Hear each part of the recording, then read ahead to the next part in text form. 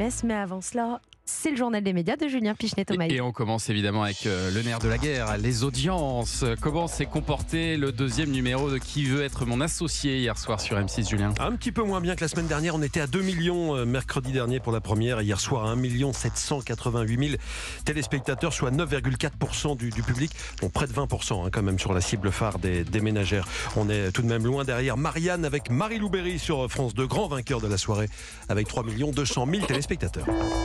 Europe 1, le journal des médias. Et puis après les Oscars, ce sont euh, les Césars qui ont dévoilé euh, leur nomination hier. Ouais, le règne animal est le film qui totalise le plus grand nombre de nominations, 12 au total. Ce film de science-fiction avec Romain Duris qui a dépassé le million d'entrées. Et devant Anatomie d'une chute, 11 nominations. Et devant Je verrai toujours vos visages, 9 nominations. On retrouvera ces trois films notamment dans la catégorie meilleur film français 2023 avec aussi Chien de la casse et le procès Goldman. Mmh. Une curiosité, l'acteur Raphaël Quenard va concourir à la fois dans la catégorie meilleur acteur pour le film Yannick et aussi dans la catégorie meilleure révélation masculine pour un autre film bien sûr, le film Chien de la casse qui était sorti quelques semaines avant Yannick. Pourquoi toujours aller chercher le bonheur ailleurs alors qu'il est toujours à portée de main? Accueille l'instant. Accueille-le, accepte, apprécie le moment que tu vis avec moi. Profitons. On est dans une voiture, on est bien, on respire. Ouais, tranquille, on s'entend bien en plus de ça. On s'entend bien. Ouais. Hmm.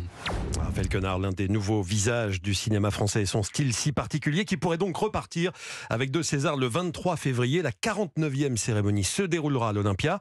Elle sera retransmise en direct et en exclusivité sur Canal+, et sur Europe 1. Et elle sera présidée, Thomas, par Valérie Lemercier.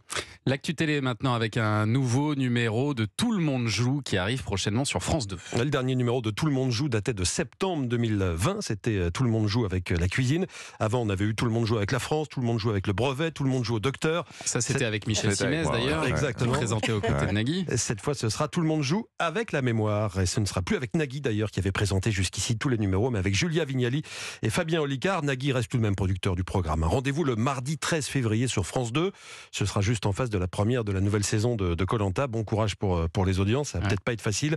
Le meilleur score de ce programme de culture générale avait été atteint en 2015 à l'occasion de la première qui avait attiré 4 millions de téléspectateurs. Pour les derniers numéros en 2020, on oscillait entre 1,5 million et 3 millions. C'était pas avec vous d'ailleurs le premier numéro, euh, Michel Simès Je sais plus, c'était quoi euh, On va voir s'il est, il est fort. Millions de Je vais pas noter tous les jours, il y en a quand même pas mal. Il me semble que vous aviez fait le premier. Ouais, oui, et puis en tout, oui, je pense qu'on avait fait le premier. Et euh, en tout cas, c'est une, super expérience de co- co-animer avec, Ouais. euh, avec Nagui qui est absolument hallucinant. Et la première, je m'en souviens très bien parce que j'étais presque plus spectateur de Nagui que euh, co-animateur, tellement il me fascinait. Vous le regardiez. quoi. Ah oui, je le regardais faire, j'essayais de, de... Je suis une éponge, moi, donc j'essayais Ouais. de prendre tout ce qui... C'est Mais c'est technique. hallucinant. C'est, ici, ce mec est... Il est très très et, fort. ouais, ouais. il, est- il a, il a plusieurs cerveaux. hein, Et c'est c'était en, c'était en direct, hein. c'est un jeu Et c'était en en direct, direct, les téléspectateurs Ouais. peuvent jouer en C'était direct. tout le monde joue avec la mémoire. 21, Ah, qu'est-ce qu'il est fort. 21 avril C'était- 2015. Ça vient de c'était revenir. Effectivement, c'était avec moi. On a une très bonne connexion internet dans ce studio.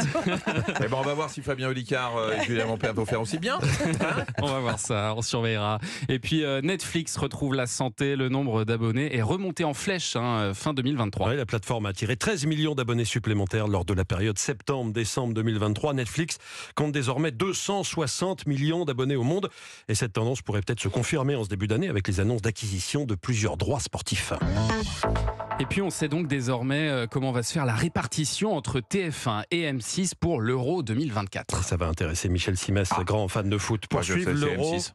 M6. Eh, c'est tout. Mince. T'es spoilé. Pour suivre l'Euro 2024 qui débutera dans 4 mois et demi le 14 juin en Allemagne, ce sera sur TF1 avec notamment Christian Jean-Pierre et sur M6 avec notamment Xavier Domergue. Ça, on le savait déjà, mais effectivement, ce qu'on attendait, c'était le tirage au sort pour euh, savoir comment allaient être répartis les 25 matchs diffusés euh, en direct et en clair. C'est un vrai tirage au sort Ah ouais, entre les deux chaînes pour savoir qui va avoir quoi. Exactement, Comme ça que ça on tire au sort. Et Ok. résultat, pour la troisième année de suite, c'est M6 qui a été tiré au sort pour diffuser la finale, comme en 2021. Il n'y avait pas eu d'euro en 2020 à cause du Covid, ça avait été reporté à 2021. Et comme en 2016, ce qui ravit évidemment Frédéric de Vincel en charge des sports dans le groupe M6, je l'ai joint ce matin. On avait diffusé euh, La finale de l'Euro 2016, France-Portugal, plus de 20 millions de téléspectateurs. La finale de l'Euro 2020, malheureusement, il n'y avait pas la France, euh, mais bon, ça permet quand même de faire de très grosses audiences parce qu'on avait fait euh, 12 millions de téléspectateurs. Et donc, euh, cette année, évidemment, on est tous derrière les Bleus. Euh, bah, pour ce qui est de, de l'équipe euh, de commentateurs, l'équipe de magazine, on est encore en train d'y travailler. On est en train de travailler sur notre dispositif. On a vraiment un dispositif très, très original et, euh, et je pense euh, très puissant. Il faudra attendre quelques jours hein, pour euh, connaître les détails de ce dispositif original. La finale pour M6. Et sinon, bien la chaîne TF1 choisira la demi-finale et le huitième de finale qu'elle souhaite. On imagine les Bleus en cas de qualification. M6 diffusera de son côté le quart de finale de son choix.